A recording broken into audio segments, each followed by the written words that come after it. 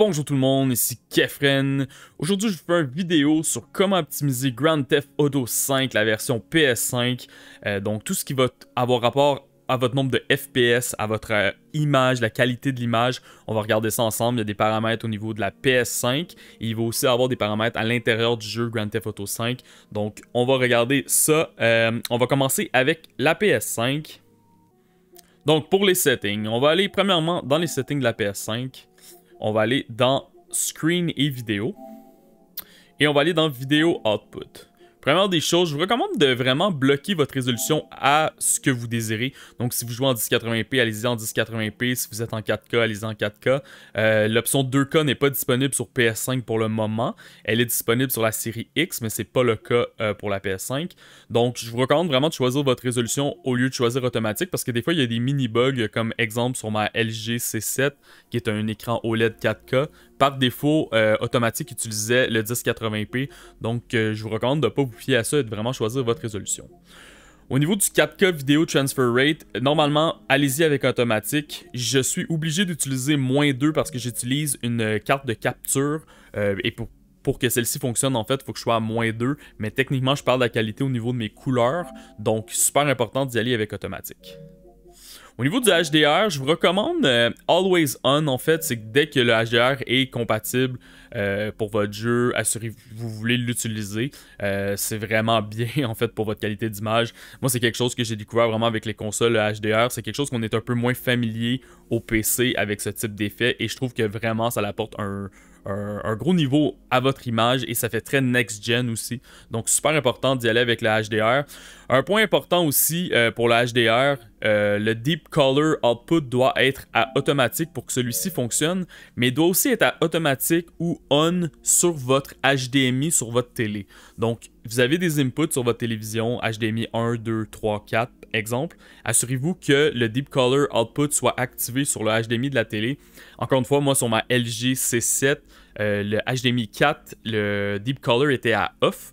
Et je comprenais pas pourquoi mon HDR euh, ne fonctionnait pas sur aucune des consoles. Et c'était à cause de ça. Donc, super important de faire euh, l'update.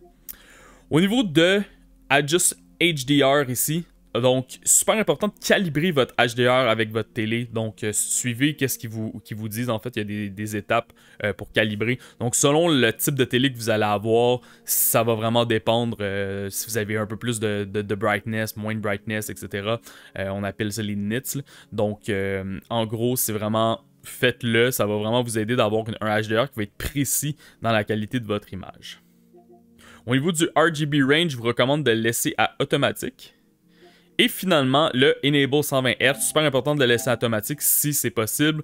Très important ici, si vous avez un écran 4K et vous voulez faire du 120 Hz, vous allez devoir avoir un port HDMI 2.1 sur votre télé. Si vous n'avez pas ça, ça ne sera pas possible. Il est possible de faire du 1080p 120 Hz avec un, HDMI 2.0. Donc, si vous avez une télé compatible à ça. Exemple, encore une fois, ma LG OLED C7 qui est dans mon sous-sol, elle est capable de rouler du 1080p 120 Hz. Donc c'est quand même intéressant si vous voulez jouer un jeu un peu plus euh, de manière compétitive, moins de qualité visuelle, mais plus au niveau de vos FPS. Il y a possibilité de le faire. Donc maintenant, allons à l'intérieur du jeu. Donc maintenant au niveau des performances. Comme vous pouvez voir ici, en ce moment, je suis en mode fidèle, donc je sais pas si ça va bien se rendre à l'écran. C'est le mode euh, que je vous dirais que c'est un, vrai 4K, euh, rien de dynamique. Donc on garde toujours la résolution 4K, mais 30 FPS. C'est pas la résolution en fait que je vous recommande, le mode recommandé. Donc on va aller dans les settings. Euh, par la suite, settings, on va aller dans display ici. Donc c'est vraiment ici que vous allez avoir les modes graphiques du jeu trois types de graphiques. Vous avez le mode fidèle, comme que je vous viens de montrer, qui est 4K 30 FPS, avec tous les effets possibles, le ray tracing et tout ça. Vous avez un mode performance avec le ray tracing aussi, et vous avez un mode performance. En gros, la différence entre ces deux-ci, euh, le performance RT et le performance normal, les deux, c'est du 2K 60 euh, FPS. La seule différence, c'est que le mode performance va avoir son 60 FPS beaucoup plus constant par rapport aux performances RT, mais honnêtement, le mode performance RT, il est souvent à son 60. Il y a des petits dips des fois à 55, mais c'est le mode vraiment que je recommande pour jouer à ce jeu-là.